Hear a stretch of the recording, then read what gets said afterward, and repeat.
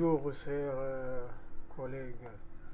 Bon, comme on l'avait souligné, nous comptons directement travailler sur euh, les VLAN.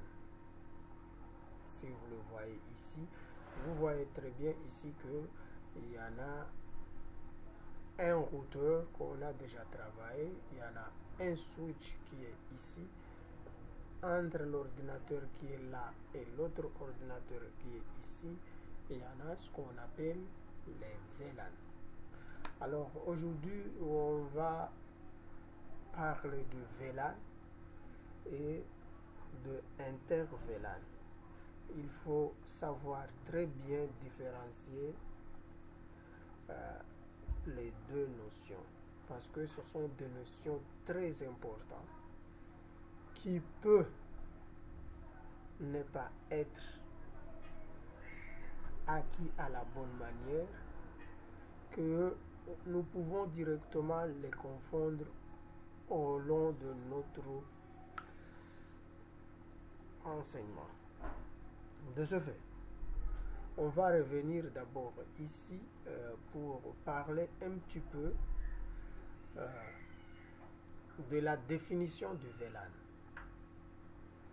Si vous le voyez ici, les VLAN sont des réseaux virtuels qui permettent de configurer des réseaux différents sur un même switch.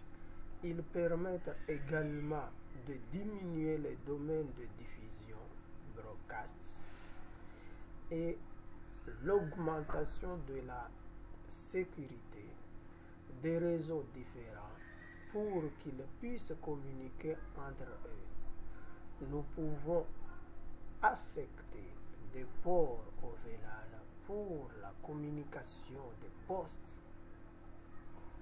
connectés sur ce port. Ça, tout ce qu'on a parlé, ça c'est le VLAN.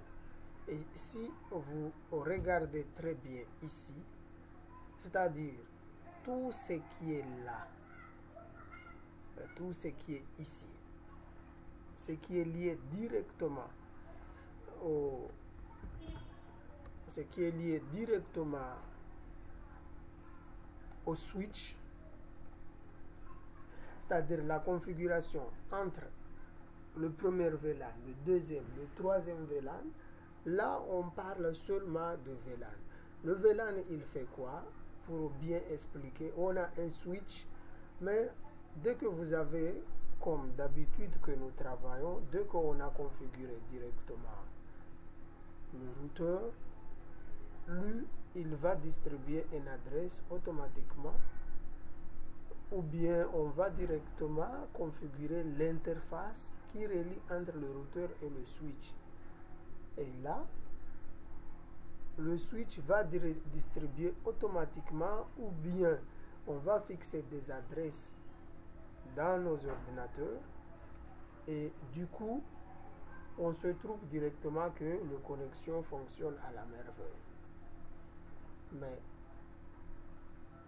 en ce moment, pour des raisons de sécurité et de savoir qui je dois m'adresser et qui je ne dois pas m'adresser, et cela va permettre à chaque personne doit savoir le domaine de la sécurité de savoir que dans un réseau d'une entreprise, tout le monde n'a pas les mêmes droits, euh, qu'il pouvait faire ce qu'il veut. Le directeur fait la même chose, euh, un, un, quoi là, un employé là, il fait la même chose, etc. Euh, le secrétaire fait ce qu'il veut, ce n'est pas comme ça. Chaque personne, par exemple, si vous regardez bel et bien, dans le côté d'une entreprise, vous pouvez trouver qu'il y en a la partie euh, commercialisation, il y en a le marketing, il y en a le, euh, il y en a les directeurs à part, il y en a, etc., etc. Du coup, les réseaux, on peut en avoir seulement un switch, on peut différencier chaque réseau et la personne qui peut parler avec tout le monde et ce qui ne peut pas directement parler avec les autres. Tu ne dois pas être dans le domaine de la commercialisation et parler avec des gens dans le domaine de la production. Ce n'est pas possible. Parce que là, vous allez directement euh, de, parler de, de, choses selon lesquelles il n'est pas utile à l'entreprise. Du coup, tu dois parler à la même personne que vous parlez le même langage. Alors, là, si on a terminé avec celui-ci, celui-ci ne passe pas ici. Pour que le routeur et le switch basculent le VLAN à un autre VLAN, cela va nous permettre directement de parler ce qu'on appelle un inter-VLAN ou bien le routage inter-VLAN. Du coup, on revient ici dans le deuxième tiré.